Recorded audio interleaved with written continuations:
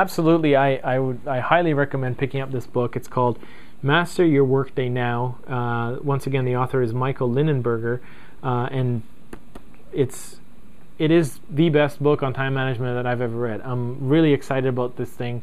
I'm really excited about implementing it into my day-to-day life and my schedule. Um, it's it's uh, definitely worth to pick up. Now, the other thing I want to talk about is rapid weight loss.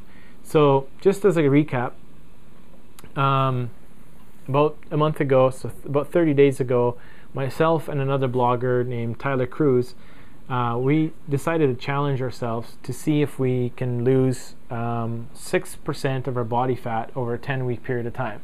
And just to apply a little bit of leverage, um, to kind of light a fire under our butts, uh, we each put aside 600 bucks to uh, basically say if if I don't reach my goal, my target goal of losing that six percent, uh, I, am going to have to basically pay Tyler Cruz six hundred dollars for losing the challenge. So that was uh, 30 days ago, and I put together a plan at that time using the, the Tony Robbins stuff. Um, I created a top level goal and a top level vision for what I want my body to look like. And the first step that I wanted to follow in that is I wanted to give myself 30 days to try to lose weight in a way that I've never tried to lose before.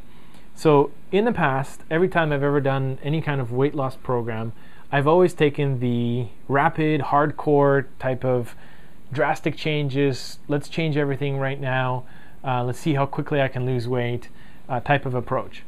And in most cases, it's worked for me short term, and I've lost weight, but when I fall off the plan, I end up gaining it back. So this time, what I wanted to try uh, is I wanted to try a different path. I wanted to basically try to make some small changes instead of just trying to change my diet all overnight in one day. I wanted to kind of take a more gradual approach where I just make a few small changes every day and hopefully those changes over time will add up and help me to lose weight. I gave myself 30 days to try that system out to see if it'll work for me. And so far, I've lost two pounds. Uh, I'm trying to lose 13 for this challenge.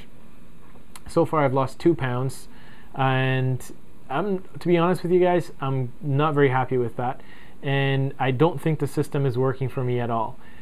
I don't know if everyone's like this, but for me, I find it much easier to lose weight fast than I do trying to do this long term approach. It's kind of like quitting smoking.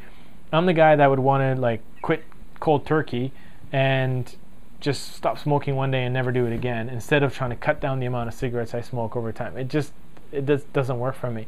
So uh, I gave it 30 days. I only lost two pounds, and at this rate, I'm never going to hit the 13 pound weight loss goal target that uh, we set for the challenge. So I'm going to be making some changes.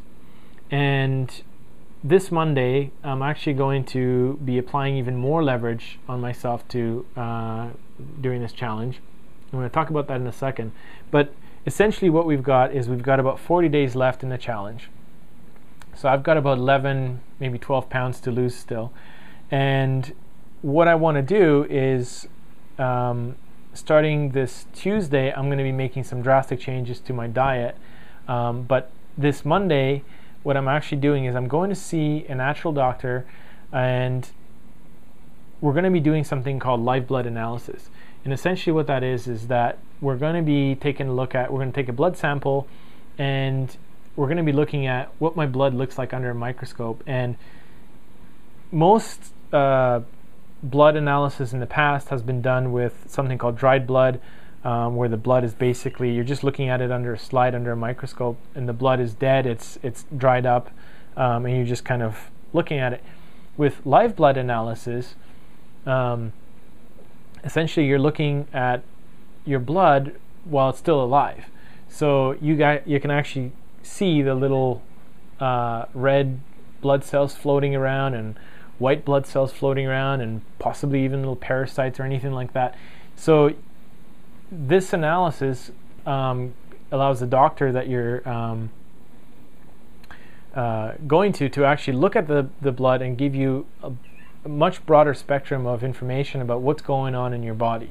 So um, it's kind of like another uh, before and after picture type of scenario where uh, instead of just taking a picture of myself before and you know measuring my weight and my and my uh, measurements, um, this is actually going to allow me to take a before picture of my blood before I make the changes to my diet um, over the next couple of weeks, and uh, it also what I'm hoping it's going to do is it's actually I'm hoping that it'll actually apply some more leverage and light a fire under my butt when I see what my blood looks like under the microscope. Because I know right now I'm not eating healthy, I'm drinking pop, I'm not taking care of my body, but in a way I'm still not really like I'm not really unhealthy. I feel I feel fine. So um, when it comes to eating unhealthy, the challenge with it is is that what we do today, it doesn't it doesn't manifest itself the effects of it don't manifest themselves today. They might manifest themselves, you know, five years or ten years from now. So, um, so it's kind of hard for your mind to uh, have the the desire and the um, you know have that motivation to make changes because it's so easy to just keep going with the with the bad diet habits. So what I'm hoping for this to do is by looking at my blood under the microscope, if I see what it see what it looks like and I'll see that my blood is not healthy, hopefully that'll kind of light a fire under my butt and say, look, I need to make some changes um, because if this is what's happening with my blood right now, it's just a matter of time before I start to manifest some kind of disease or something like that. So, uh, this Monday, I'm going to see the doctor. We're going to do a live blood analysis. I'm hoping to be able to get some video um, that I'll be able to show you guys in my next uh, Paulymath show and give you guys a picture of um, you know, like a before picture of what my blood looks like before I make the changes to my diet. And this is actually a, a long-term plan as well. It's a, uh, it's something that we, we do an analysis now, and then there, I think there's another one, I think about three weeks from now, in week three or four. Um, then there's another one three months from now, and six months from now, and then a year from now. So I'm going to actually get like multiple samples, uh, multiple analysis of my blood over the next uh, year or so, and as I implement the changes that I'm implementing in my diet, I'll also be able to see how those changes have um, affected my blood over that period of time. So I think it's really cool. I'm excited about this. Uh, I can't wait to go there on Monday and check it out and see what my blood looks like. Um, so yeah, that's pretty much it. Stay tuned for that. Uh, we'll be doing that. Uh, I hope to get the samples in maybe on Tuesday and possibly get them out to you guys produce a show, uh, another show on Wednesday maybe, and give you an idea of what uh, what live blood analysis is about. Show you what my blood looks like under the microscope, and then um, uh, maybe even reveal a couple of the things that I'm going to be changing to my diet starting on Tuesday. So that's it for this show. I hope you guys uh, enjoyed it, and see you guys next time.